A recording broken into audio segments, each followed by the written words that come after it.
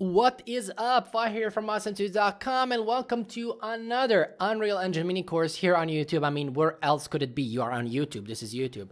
Anyways, before we begin, you always know that I first show you the game that we're going to create. But before we do that, help the algorithm, promote my channel so that we can grow together. Hit that like button Make sure that you comment, share the video so that others can see, and subscribe. That way you're helping me. This is the only thing I'm asking you, okay? So now let's get inside and see the game that we're going to create. If I hit the play button, we have the nice snake over here. It's the snake's head. Now, one thing that we see over here is that the controls of the snake are pretty hard. As you can see, I still cannot get the first food. And the reason for that is because we have one variable inside of our game that is going to allow allow us to control the snake. You see that I just die. If I press the restart button, we restart. And that variable is a delay number. And the smaller that number is, the faster the snake will be, and it will be easier for us to control it. As you can see, the more we eat, the larger the snake gets, and the faster the snake will get. And that means we will be able to control it much faster. As you can see, the larger the snake gets, I have more control over it because, well, we need to have more control over the snake when the snake gets larger. If you're wondering what's that circle circle in the middle, that dot, I have no idea. It's probably some kind of glitch. It's not part of our game, but it doesn't bother us. Anyways, as you can see, now the snake is much faster and I can control it much better, but I still died. we can go back here in the game and we can set this delay from 0.2 to 0.1. So the smaller the delay number is, the faster the snake will be. Pay attention now. The snake is crazy fast, as you can see. Look at the speed of that snake. Look at the crazy speed of that snake. Pay attention, we also have the score at the top. And yeah, I can control the snake now very, very well. Very well, well, well, that is. So yeah, we have the thousand for the score. I am pretty good at this game. I'm the best. Nobody can beat me and yada, yada, yada.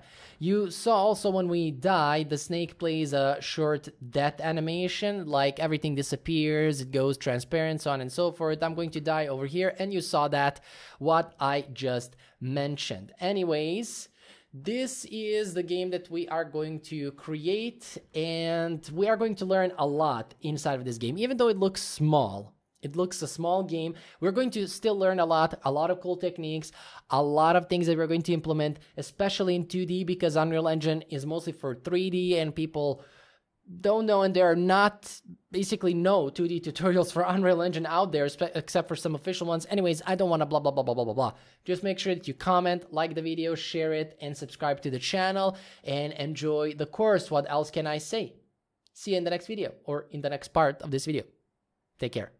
So let's get started. And as always, you know that we first create or open the Unreal Engine project browser. Click here on games and click on next. Over here, we can have a blank project. That is not a problem. Click on next again. Blueprint, we can leave that because we're going to use primarily blah, blah, blah, blueprints in this project. No starter content. Over here, you are going to select where you are going to store your project. And over here, you are going to name it. So here I'm going to say, well, we cannot begin it with a 2D. So we can say snake 2D and then I'm going to click on create project and of course as always we need to wait until Unreal Engine takes mercy upon us and you know opens the projects and so on and so forth. So what I'm going to do is I am going to cut out the video right now and I'm gonna come back when the well project opens. Project. Yeah.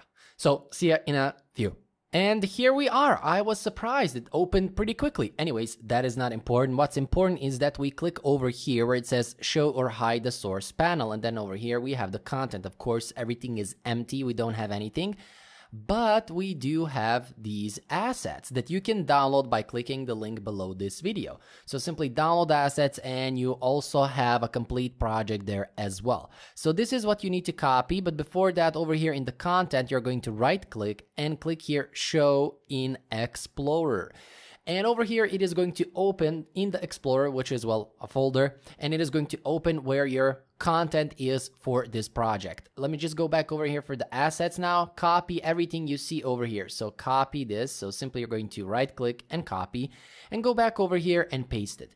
When you paste it, you will see it in your project and there you go. So we have over here the sprites that we are going to use. We also have here our flip books. Don't worry about that. You can just click them now and open them over here. We will see later on what they are, how to use them, so on and so forth. But what's important is that everything is working and we have everything set up.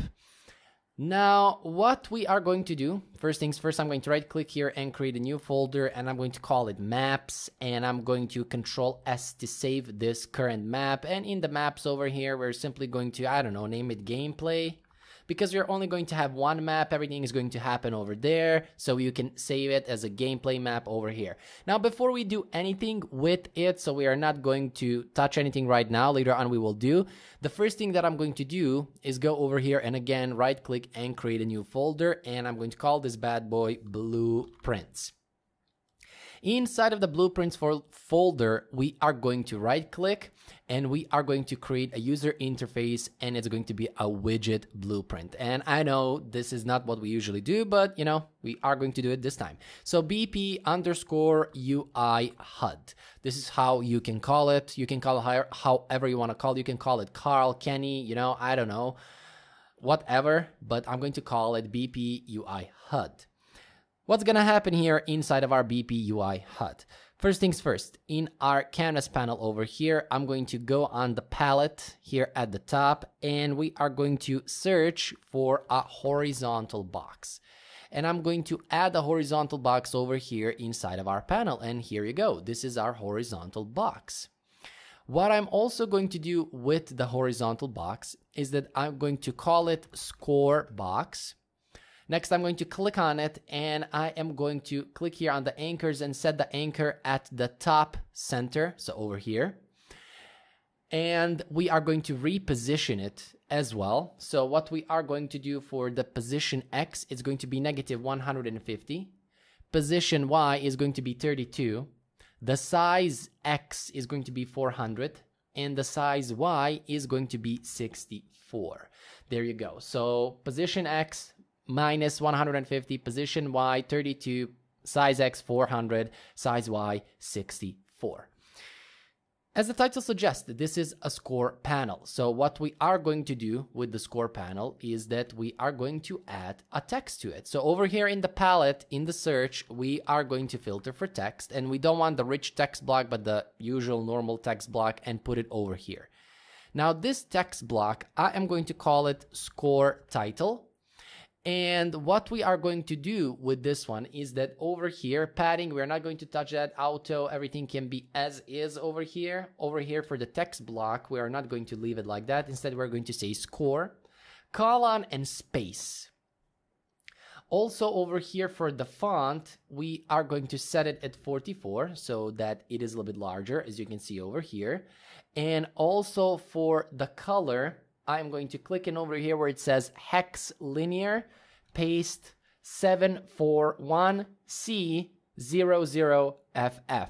And when you click OK, it's going to, well, be this color. Now, of course, you can pause the video and see this number over here. So 741C00FF, but it's not important. You don't have to do it the same way I did. It's not mandatory, you know, because I know that a lot of people follow this and they think like they need to have everything as I do. It's not mandatory for you to do that. But if you want, you can pause the video and again I, you know, dictated two times the hex color for it.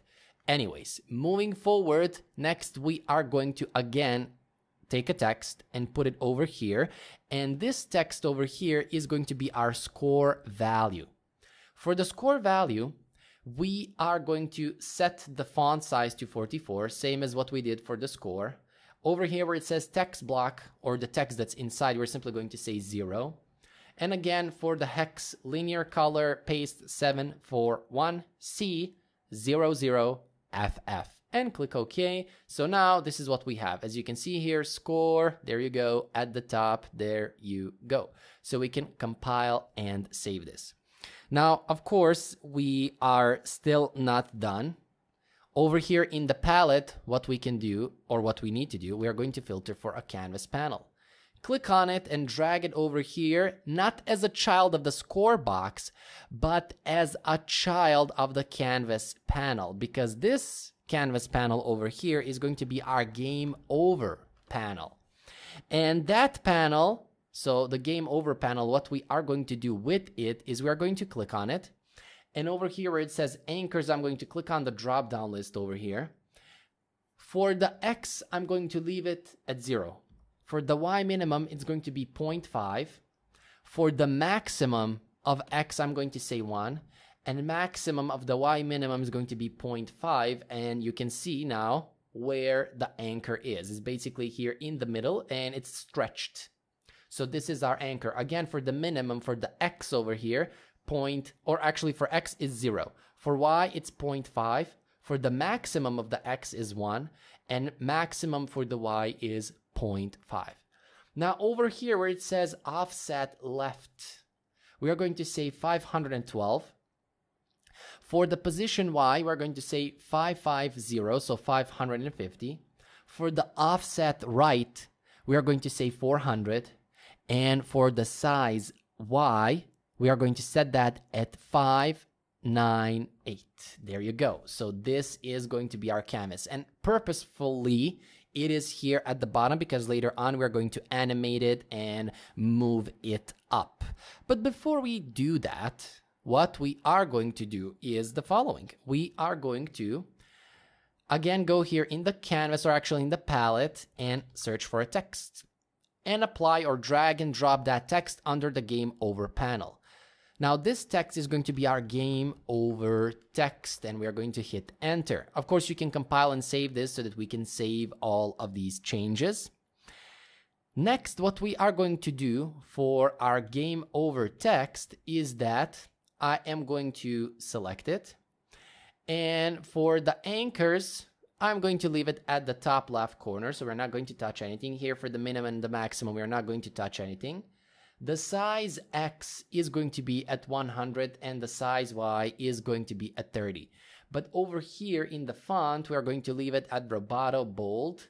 The size for the font is going to be 90. And where it says text block, we are simply going to say game over like this.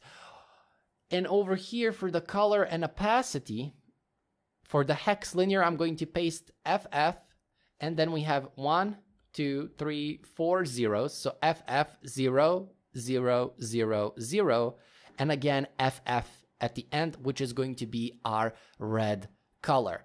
What you can do as well over here for our game over, for the text, I'm going to select it. And over here, we can, you know, like add a few spaces over here or a tab. And it looks like this. And you can add it all caps so you can have it all caps as well. So yeah, and again, this is not mandatory. You will not like ruin the game if you don't put the red color uh, and instead you put the blue color or whatever. So I'm just saying that, putting that out there. Anyways, compile and save.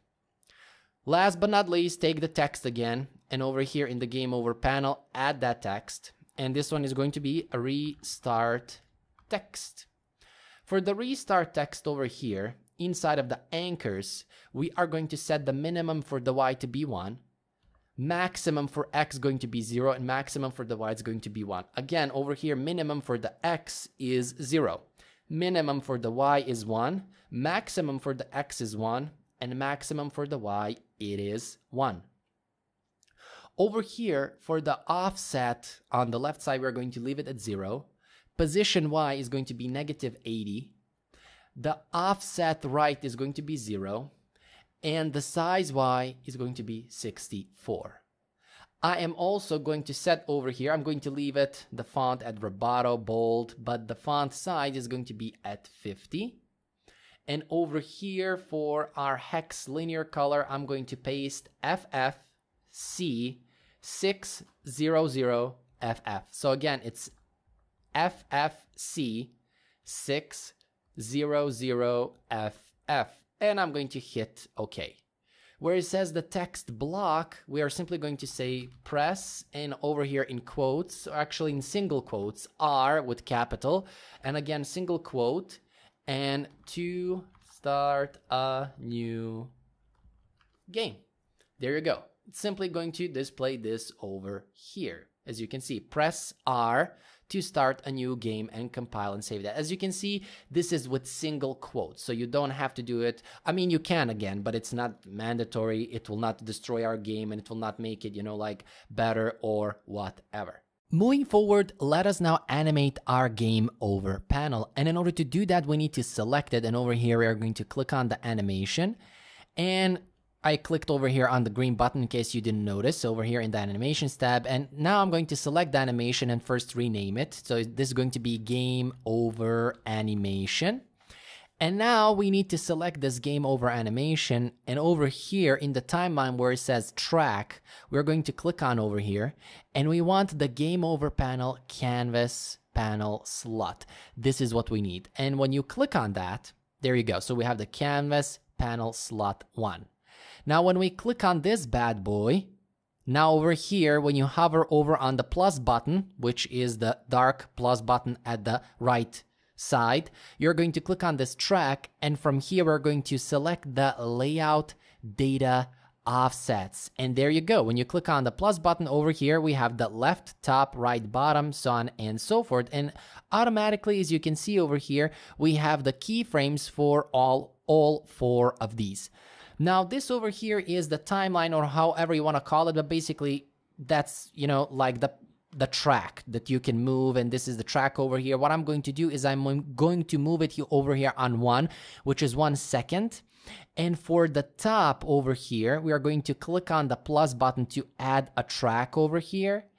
And for the top we are going to move it from 550 so 550, we are going to move it over to negative 64. So over here, we are going to add, and let me just type it, minus 64, which is, as you can see, it is going to move the panel at the top. Now, again, over here, only for the top. We're not going to touch the left, the right, the bottom, the so on and so forth.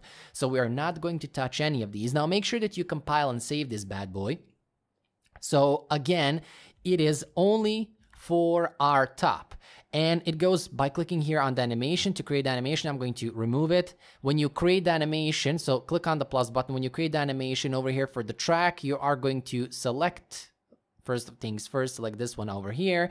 And now select the game over panel, canvas panel slot. When you select that, and from there, you're going to click on the plus button over here and you're going to select the layout data or offsets. And of course, for the top, we are going to move it. So there you go. So now we have the animation as you can see over here.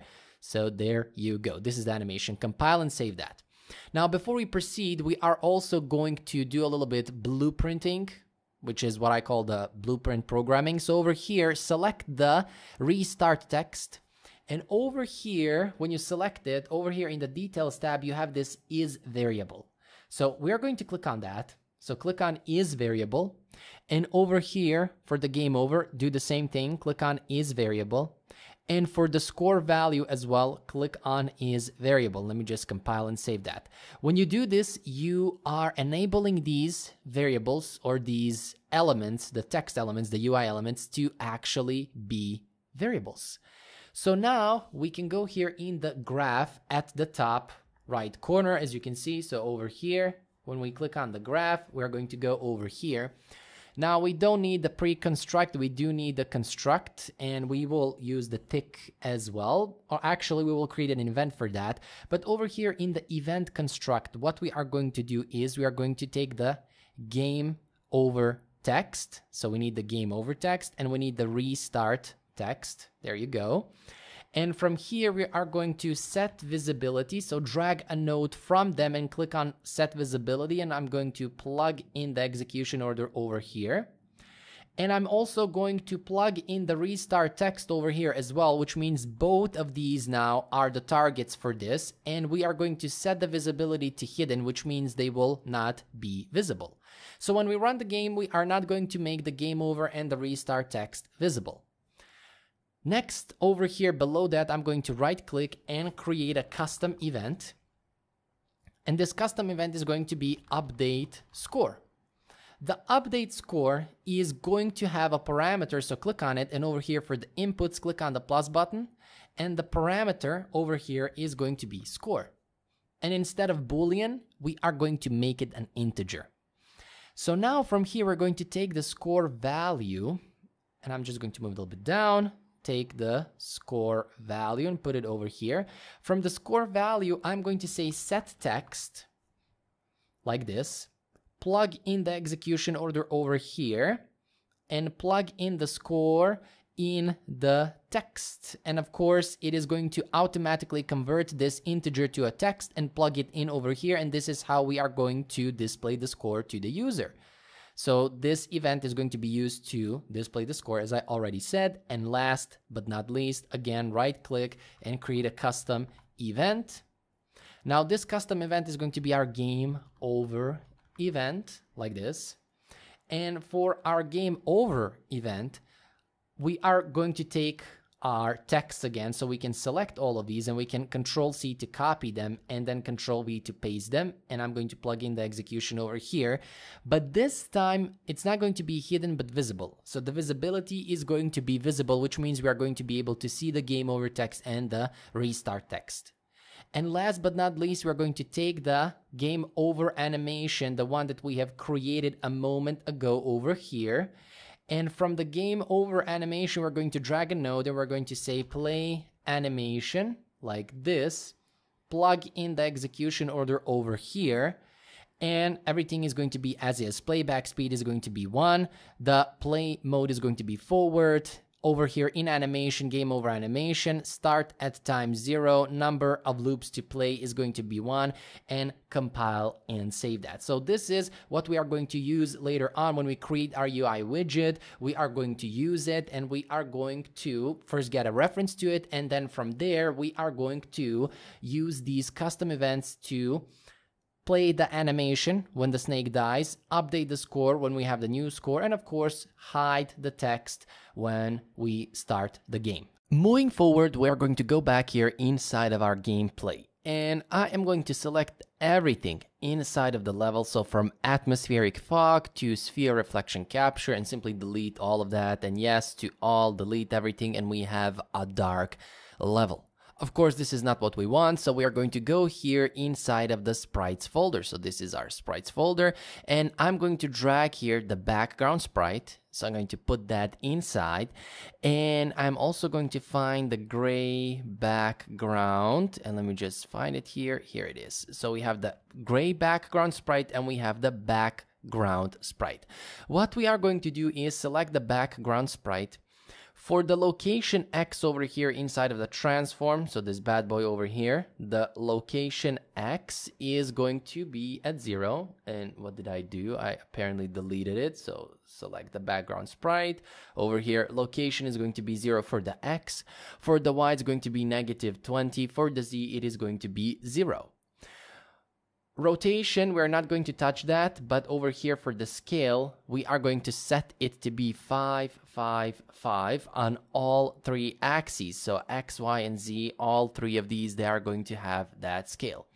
Now, also what I am going to do is here for the sprite color, instead of white, we're going to set over here the hex linear to 345C, 90FF. So again, it's 3, 4, 5C90FF. And again, you see it just changes a little bit the color. And again, what I wanted to say is you don't have to have exact the exact same color as I do. But if you want, just pause the video over here, take a look at this hex linear. Again, 3, 4, 5, C, 90, FF. Now moving forward for our gray background sprite, so for the gray background sprite, we are going to set the X at minus 50. This is for the position. The position Y is minus 10. The position Z is going to be minus 50. Rotation, we're not going to touch that. And over here for the scale X is going to be 12. Scale Y is also going to be 12. And last but not least, the scale Z, it is going to be 10. There you go. Now, also for this bad boy, we are going to click here on the sprite color. And where is that? It's basically right over here in the sprite. So when you click on the sprite color over here, hex linear, I'm going to paste this 422A 59CC. So 422A 59cc or simply pause the video and check out for yourself. I'm going to click OK and this is what we have. So this is going to be our game background. Now, of course, we're still not finished because we do need to add one more thing over here. So I'm going to go over here where it says place actors and search for classes here. And I'm going to filter for the camera. I'm simply going to drag and drop this camera over here. Now, for this camera, we of course need to reposition it. So select the camera. The X position is going to be minus 50. The Y position is going to be 100 and the Z position is going to be also minus 50. So it's minus 50. There you go. And the rotation on the Z axis is going to be negative 90. And this is what our camera sees. If we select the camera, you see over here when you select it and you click on it over here in the world outliner. This is what the camera sees. But of course one more thing that we need to do is over here the projection mode. I'm going to change it from perspective to orthographic and automatically you can see how the preview of the camera over here changed. Now also over here ortho width i'm going to say 4500 and again you see over here how the camera view changed or what the camera sees has changed. Now again i'm not going to like experiment with this. You can see this on your own what is what this is doing the ortho width. And you can change from orthographic to perspective to see the difference so that way you can, instead of me explaining what it does, it just changes the view of the camera and the width and so on and so forth. But uh, again, as I said, projection mode, just change it from orthographic to perspective and vice versa, and you will see that. Now we do have one thing that is not working. If I hit the play button, this is what we see. And this is not how we want to see our level. We want to see it as we saw in the preview of our game how the camera is looking at the level so that we can actually see it better. And in order to do that, while we are over here inside of the gameplay tab for the gameplay level, we are going to click here on this blueprints drop down list. So click on this drop down list and we're going to click on open level blueprint and it is going to open this over here. We don't need the tick event, but what I'm going to do is I'm going to move this over here and go back. So as you can see, I have a floating window. So I have a floating window of the gameplay level over here. What I'm simply going to do is take the camera actor and place it over here. So from the world outliner, here it is, simply get the camera, drag it and drop it over here. And now we can, well, dock the gameplay tab again. So now that we have the camera actor, what we are going to do is from it or simply over here can I do it like this? Set view target with blend? No I cannot. I need to drag a node from the camera actor over here. I need to say set view target. It's actually so we need to do this actually from the player controller. So right click over here we need to say get player controller. And from him so excuse me for this one from him, we need to say set view target with blend. There you go. So this is where it was. Unreal Engine has so many functions. Sometimes you forget where they are. So over here, the new view target is simply going to be, we're going to plug in over here the camera. And everything here, we're going to leave it as is blend time zero, blend function, VT blend linear, blah, blah, blah, blah, blah, blah. Compile and save that. So again, it's from the player controller. So right click and over here, get player controller. This is how you get the player controller. And over here, we have from the player controller, you drag a node, you type set view target with blend and this is going to be or this is going to set the view on the camera that we have specified and over here new view target is the camera actor from the level so compile and save that again and if we go back over here in our gameplay and hit the play button there you go so this is this is what we want to see and this is well our desired outcome so if i hit the play button now this is our level. So this is how we want to see it with our main camera. Moving forward, now we are going to start adding elements inside of our game. So over here inside of the blueprints, first we are going to right click and go over here under blueprints. And we're not going to create a blueprint class or none of these except for the enumeration. So click on the enumeration and we're going to call this one food color underscore enum. There you go. So again, it's right click under blueprints and then enumeration. And when you open it over here, what is this? Well, enumeration or enumerators are basic. We can create them however we want to create them. So for example, if we click here on new, you see over here, we're going to click on new and we have a new enumeration and we can give it a name whichever we want. And we are going to create four of these. So the first enumeration over here is going to be blue. This is what I meant when I said we can create however we want to create them. So we can give them names whichever we want. So over here we can say purple. For the third one, we can say red. And for the last but not least, we can say yellow. And same way you can create, I don't know, like you can create enumerations for Kenny, Carl, Johnny, Bobby, whatever. So you can give them names. And later on inside of our game, we can use these enumerations to compare them with each other to basically check if we have the same item. For example, if the color of our actor is blue or purple or whatever. We can even use this for tags. You can give them tags over here. We can compare them later on, so on and so forth. So this is for what we are using the enumerations. So the next step, now that we have the enumeration, we are going to go back over here and going to right click. And this time we are going to create a blueprint class and it's going to inherit from the actor and we're going to call this bad boy BP food. So we're going to use this to actually create the food. So I'm going to double click this, open it of course here in the blueprint editor. Now the first thing that we are going to do is over here is click on the add component and we are going to filter for sprite and we want the paper sprite. So this is what we want, the paper sprite component. So if I hover over, you will see it's a paper sprite component. See, it's a component that handles rendering and collision for a single instance of a UPaper. Basically, this is a component where it will allow us to display an image and I'm going to make it a default root and I'm going to rename it to food sprite. There you go. So I can compile this and save it. And of course, over here inside, I said, of course, like you knew that was coming. So over here in the variables, we are going to create a score variable and this is going to be an integer and I am going to make it public and compile and save this bad boy. So this is when it comes to our food sprite. Now, of course, we are still not done. Instead, what we are going to do is we are going to go here in the event graph and from here, I'm going to remove these two. In the event begin play, we are going to create a custom function. So right here below, we are going to get a custom event. And I said function, but it's a custom event. And we're going to call this set food. And from here, actually first, I'm going to click on it. And what we are going to have here, so click on it. And over here, we're going to have an input, which is a parameter. So we're going to call it type.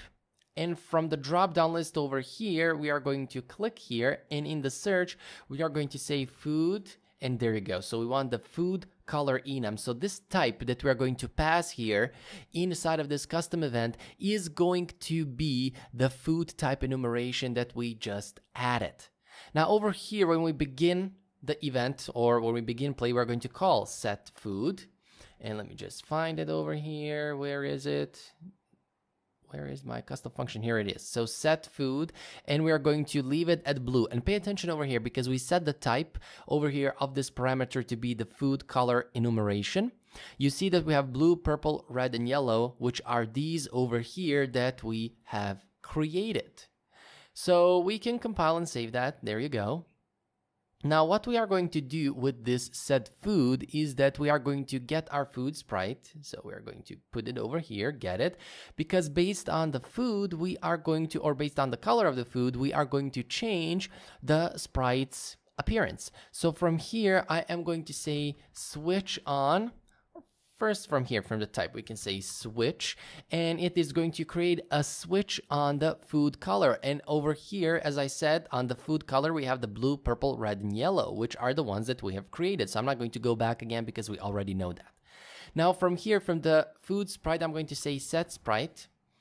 And there you go. Now, what I'm also going to do is copy and paste this, paste it again, and paste it again. So you have four of these possibilities. When I say possibilities, that is, we can have the blue color over here, we can have the purple color, we can have the red color, we can have the yellow color.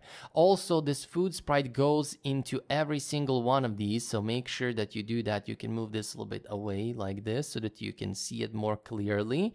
That's up to you. And there you go. So this food sprite needs to go in every single one of these for the target, as you can see, because we are targeting that food sprite. Now that we have our everything is set up. So for the switch on the food color, we plugged in the food sprite over here. When we have the blue one, we are going to click here and we're going to select the blue polygon sprite. Because again, as I said, if the food if the enum on the food is blue, we are going to set the blue polygon. And this is what I said a moment ago. So over here, based on the switch, on the enumeration food color, it is going to tell us if it's blue, then it's going to execute over here. So if it's blue, it's going to execute this. If it's purple, it's going to execute this. If it's red, this, and so on and so forth. So over here, if it's purple, search for purple. There you go, purple polygon sprite. Over here, we have the red, so type red, and we have the red polygon, not the red square, but the red polygon sprite. And last but not least, over here, we have the yellow. So over here, we have the yellow polygon sprite. There you go. Now, what we are also going to do is we are going to set the score. So over here, set score like this. Copy and paste this bad boy, and it is go this goes over here. Paste it one more time. This goes over here. And last but not least, for our yellow, also paste it like this. This goes over here. Come on, let us go back. There you go. So now over here, if we have the blue color, we're going to set the score to be 100. If we have the purple color, we're going to set the score to be 50. If we have the red color, we're going to set the score to 20. And last but not least, if we have the yellow color, we're going to set the score to 10. And we can compile and save this. Next, we are going to wait and delay. So over here, we're going to delay. And we are going to delay for three seconds if is the blue color, copy and paste this, and I'm going to plug it in over here. If it's the purple color, we're going to delay two seconds. And last but not least, if it's the red color, we are going to delay one second. Now we are not going to delay if we have the yellow color. So we're going to leave it as is compile and save that. After we delay, what we're going to do? Well, over here now we're going to set the food like this. There you go. And we're going to set the color to purple. And I'm going to copy and paste this. And this goes over here. And let me just move these a little bit like this. And generally move the whole function over here. There you go. And I say function, but it's a custom event, but it's basically if not the same thing, it's similar. And over here we have another set food and this time this is going to be red. And last but not least, over here we have the food and we are going to set this bad boy to yellow. There you go, compile and save that. So first, when we go in the set food, we are going to go in the switch and we explain this based on the color we're going to set the sprite of our or the color of our food sprite to that sprite and then we are going to set the appropriate score based on that as well. And after that we're going to delay depending on which color we have we're going to delay a certain number of seconds. And after that we're going to change the color of the sprite again. So simply compile and save this. So this is for our bp food now, before we proceed to create the gameplay mechanic, we still need to create a couple of more actors. Over here are blueprints. So we are going to create another blueprint and it's going to inherit from the actor. And this one is going to be BP block. There you go. So double click this bad boy, open it over here. And what's going to happen is we are going to go again under add component and filter for paper sprite and it's paper. There it goes, sprite. So this is what we want. And this one is going to be our block sprite. What I'm going to do with this one is over here for the source of the sprite, we are going to click on the drop down list and we are going to filter for gray square sprite. This is what we want. So this is going to be a sprite that's gonna represent our block. Over here for the location for the Y, we're going to say minus 10 just so that we can move a little bit backwards. And we are not going to touch anything else. So make sure that you compile and save this as well. There you go. Moving forward, the next thing is let me go back over here and right click blueprint class and again it's going to inherit from the actor and this one is going to be bp underscore snake body part. So there you go. And what I'm going to do is double click this bad boy and open it. So open it over here inside of our editor. Now, what's going to happen with the snake body part is that we are going to use a paper flip book. So over here add component, we're going to filter for paper flip book. And what the hell is a paper, paper flip book? First, let me just set it to be the default scene. There you go. So we have our paper flip book. We are not going to add anything over here inside of our source for it. But over here for the variables, you're going to click on the plus button and we are going to say is head and this one is going to be public. So make sure that you check this I box or this I over here so that we can make it public because of course, we want to, you know, access it later on in other sprites and determine if this is the head or not. Now, what the hell is a paper flip book? Paper flip book in Unreal Engine will allow us to create an animation. And here it is. You see flip books and we already have the bait, the beat flip book and the blank flip book. If I hover over over here, if I hover over, if I right click, and go to paper 2D, here is where you can create a paper flip book. So it's simply right click, paper 2D, paper flip book. And you can call this one test book, for example, and you can double click on it and it, you can open it here. So what is this? What the hell is this? Let me just open the one that we already had over here, the beat one. There you go. You see? And let me just stop it because it is animating. So this is basically a way inside of Unreal Engine to animate sprites. And the way this works is there are multiple ways how you can create animations like the ones you saw over here. You can go over here and you can right click to add a keyframe. And there you go. We have a keyframe and you can right click on that. And then over here, you can pick a sprite, for example, the dead sprite one, and you can save that. So when you save it, and this is not what I want. So save it. If I preview it, let me see. Do we see it actually? For some reason we don't. So let me just do this. I am going to close it, go back over here and open it, and now we see it. Now you can also do it like this. You can go over here and click so you can move this handle over here to go at the last frame and then you can click on add a new frame. So now we have a new frame and again a new frame, a new frame, a new frame. So you can do it like this as well. And let me just delete these so we can delete them all because you can also drag and drop them. So delete, delete, save. You can also move this over here. And then from here, from your sprites, you can then drop your sprite. So for example, you can drop this one over here or simply over here in the frames to create an animation. You can drop one, then the second, then the third, and so on and so forth. Or over here, add a new keyframe, and you can click here and pick a dead sprite one image, add a new keyframe, right click, pick new sprite. Let's dead to sprite image, and let me just save that. So when I preview it, you see automatically the animation is being played. So it's a simple it's very simple. It's not complicated. Again, if something is not clear, make sure that you ask in the comment below. But basically, you simply right click, add keyframes, or click here to add keyframes. And then on those keyframes, you right click and select the sprites you want so that you can create the full animation. This is what we did over here. Or I already prepared this so that we don't have to do it, but I explained right now how it is done. And if I preview it, this is that animation. So we have 11 sprites or 11 frames. And again, paper, flip book is a way to animate sprites in Unreal Engine. So here in the flipbooks, we can, let me just save everything. We can delete this test book because we don't need it anymore. This was just for an example to show you how it works. And you can also delete it from here because we don't have to like, we don't need to keep it over here. Again, if something is not clear about what is a flipbook and how it works, just make sure that you ask in the comment below the video.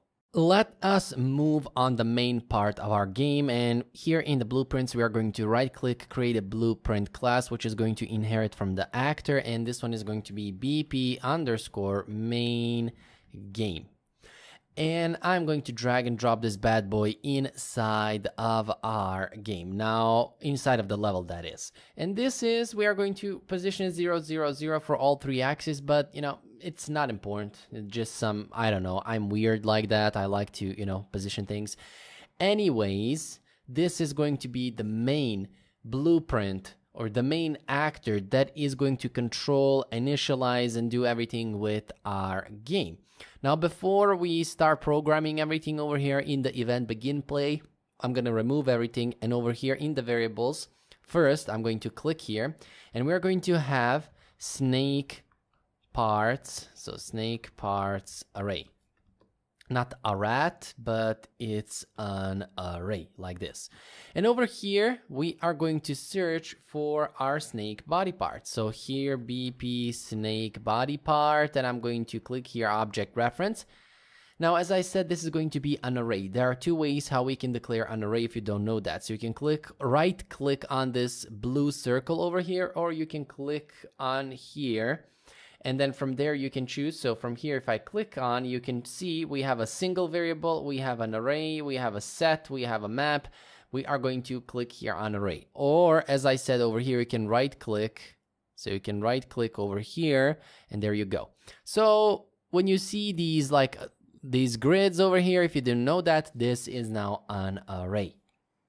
Now, moving forward, we are going to click on the plus button. We're going to have over here direction Z and this one is going to be an integer. And click on the plus button again. This is going to be direction x. There you go. So compile and save that. Now direction z and direction x they are not going to have any default values. So they are going to have default values of zero. Moving forward i'm going to click here on a new variable and we're going to say can change direction. This is going to determine if we can change the direction with the snake or not. So compile and save that. Moving forward, we are going to have x underscore max. And this one is going to be a float and by default I'm going to set the value of it to be 1200 and click on the plus again and we're going to have z underscore max. Make sure that you compile and save that and for the z the maximum is going to be 1000 so for the x max or x maximum 1200 for the z max it is going to be 1000 moving forward I'm going to click here and we're going to have a food actor reference. So food actor ref. And from here, I am going to search for food and we want the BP food and we want the object reference. Compile and save that. Moving forward, we are going to have our wall blocks array, which not again a rat. What is what is wrong with me with the array? It's an array, not an array. Anyways, this is going to be our BP block. So from here, click and search or filter for the block. So this is what we want, BP block. And just to be sure, BP underscore block, here you go. Select the object reference and make it an array. So we want the wall blocks to be an array. Moving forward, click on the plus button over here to add a new variable. And this one is going to be delay, not the al I what I wrote over here, a delay variable, which is going to be a float. So from here we have a float. Let me just compile this so that I can add a default value over here. So the default value is going to be 0.2. Compile and save that. Moving forward, we are going to have another one, which is going to be is dead. And of course, you can assume this is a boolean because it is going to determine if the snake is dead or not. Next, we are going to have the HUD REF or the reference to our HUD, which is going to be our game HUD. So over here, simply filter for HUD, and this is what we want, BP UI HUD. And this is the one that we want, which is the one that we have created. So compile and save that. Moving forward, Last but not least, we are going to have the score, which is going to be an integer. So make sure that you compile and save that as well. So this was the preparation for our main game blueprint, which is going to control our game. As you can see over here, we have all the variables for the snake parts. We are going to store the snake parts that we create because, you know, the snake eats a gem or eats a fruit or whatever in the game and then it grows. Whenever we eat a new item, we need to make the snake larger. Those parts are going to be stored inside of this array. Direction Z and X, this is pretty self-explanatory. It's the direction where the snake is going. Can change direction. Can we, you know, change the direction? Self-explanatory. X maximum, Z maximum. These are the speeds for the X and the Z. We will see later on how we're going to use that. Food, actor reference, self-explanatory wall blocks. These are the walls that we are going to you know create like this in the game to strict the movement of the snake. So this is the reference where we are going to put them. The delay is going to be the speed of the snake. We will see later on how we can increase it. Is that self-explanatory? Hud self-explanatory score self explanatory and I don't think that, you know, we need to explain that. Moving forward here in the event graph. First, we are going to right click and create a custom event. And this custom event is going to be called spawn new snake part, which is going to do what the title says or its name says. It's going to spawn a new snake part. Now we are going to have two parameters. So click this new parameter here under input two times, one, two, so over here, the first parameter is going to be our spawn location. And the second parameter is going to be is head. For the spawn location, it is going to be a vector because vectors represent a location x, y, and z. Next, what we are going to do is from here, I'm going to say spawn actor from class. And the actor that I'm going to spawn, over here we are going to select the class, we are going to say snake body part. There you go. Now here we are going to have the spawn transform and we have here the location. So what we need to do is right click on the spawn transform and split struct pin so that now we have the spawn transform location and I can plug this into the location.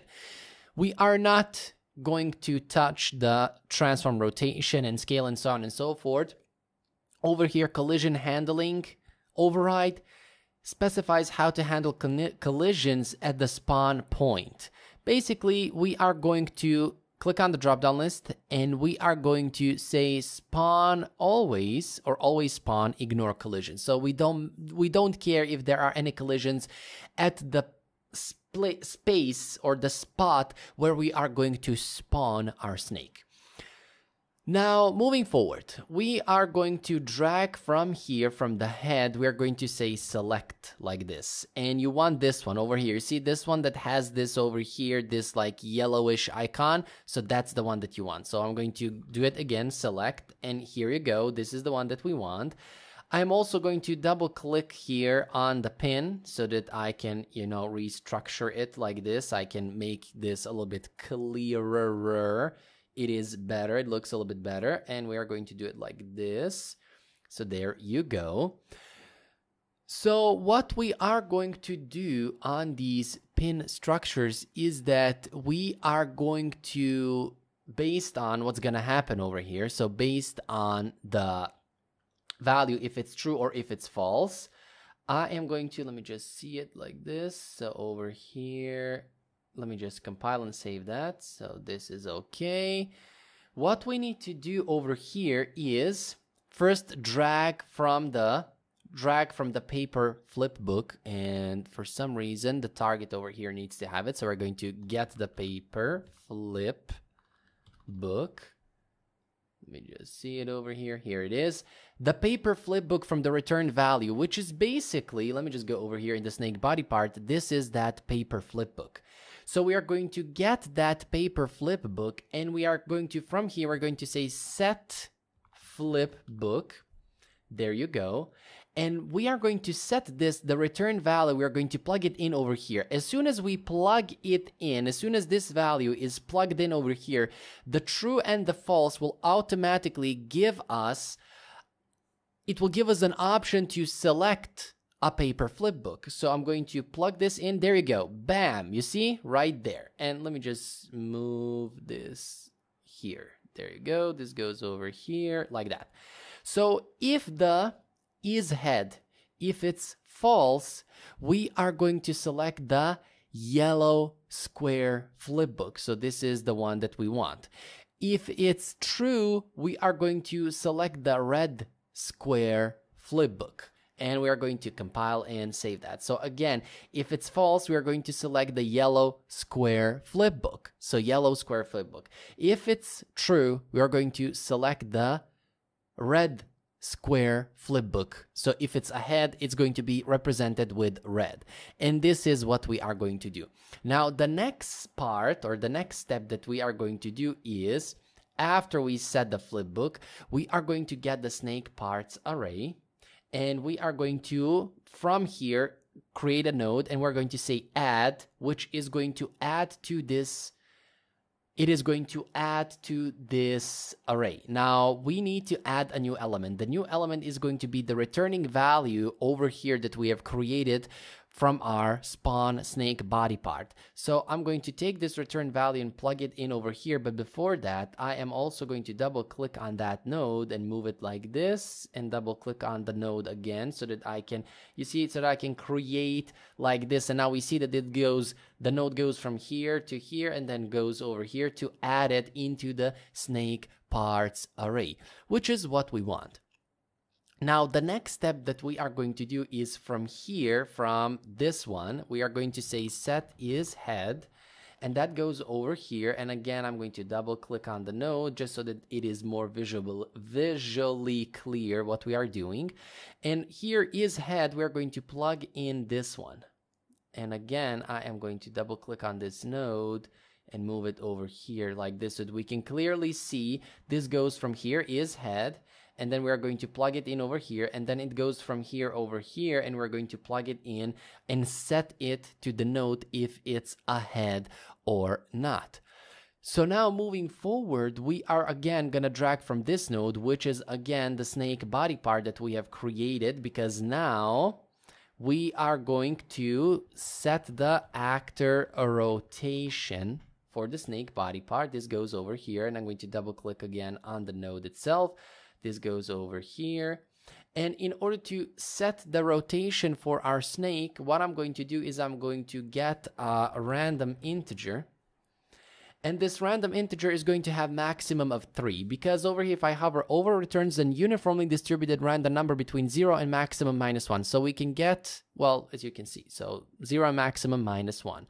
What we are going to do over here is we are going to plug this into a select and there you go. So we have now the select over here. I am going to add two more pins. So we have option 0, 1, 2, and 3. And option one, first things first, I'm going to split the pin structure here for the rotation. So split struct pin and we are going to plug in the return value over here inside of the Y for the pitch. And when we do that, automatically these options are going to convert into integer or actually float values. So when I plug it in, bam, they have converted into float values. When we have option one, we're going to say zero. When we have option two, we're going to say 90 degrees option actually option 0 option 1 is 90 option 2 is 180 and option 3 is 270 and we are going to compile and save that. And if you're wondering why I added option 3 well maybe you decide to later on add here maximum for 4 and there you go. So compile and save that. This is going to be our spawn new snake and I'm going to put it in a comment. Right click create a comment from section. I'm going to say over here spawn new snake part. There you go. Compile and save that. Next, we want to spawn our food. And in order to spawn the food, the first thing that we are going to do is this. We are going to get our X maximum and we're going to get our Z maximum. We're going to put them over here. Now, what's gonna happen is for the X maximum, I'm going to say minus float. And the float that I'm going to subtract it or subtract from it is going to be 100. So 100. Next, what I'm going to do is from here, I'm going to multiply this with a float. So I'm going to multiply this with a float. The float that I'm going to use to multiply is going to be negative 1. And the reason for that is because you see subtraction a minus b. The return value over here is actually the result from this. So I'm going to multiply the result with negative 1 because I am going to use over here a random a random float in range and the minimum is going to be this value multiplied by negative 1